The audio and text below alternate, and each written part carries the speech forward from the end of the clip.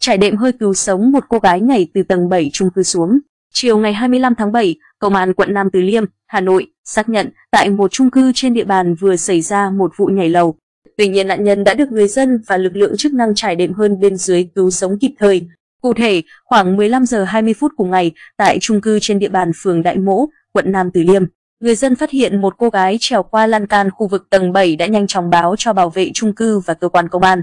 Đồng thời với việc thông báo tình hình, người dân và lực lượng chức năng đã nhanh chóng trải đệm hơi ngay dưới sảnh chung cư và cử người tới khu vực căn hộ nơi xảy ra sự việc để hỗ trợ.